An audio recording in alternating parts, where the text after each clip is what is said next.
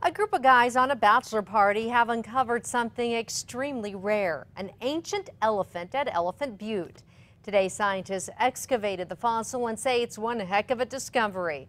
News 13's Chris McKee was there. Oh yeah, absolutely. I'm, I'm really excited. It took 3 million years to get here.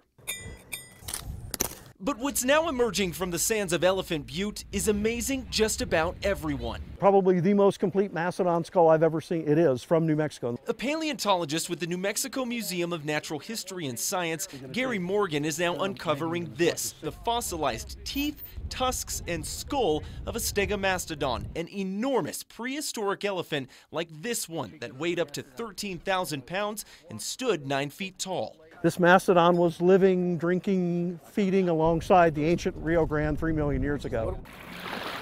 A group of guys celebrating a bachelor party stumbled upon the fossil washed clean by the water on Elephant Butte's beach last weekend.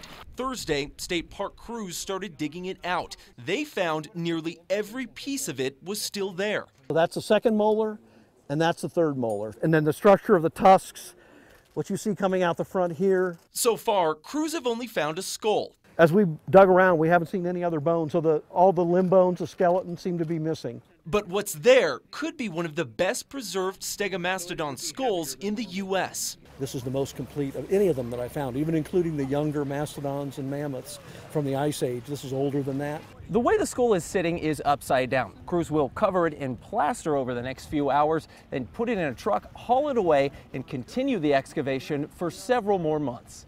By the end of the year, they hope to finish studying the skull, which State Park says could give some of the most detailed information on the prehistoric elephant ever recorded.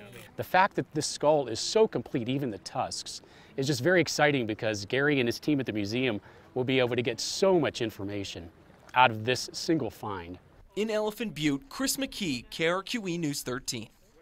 Pretty amazing. Eventually, the skull will go on display at the Natural History and Science Museum in Albuquerque.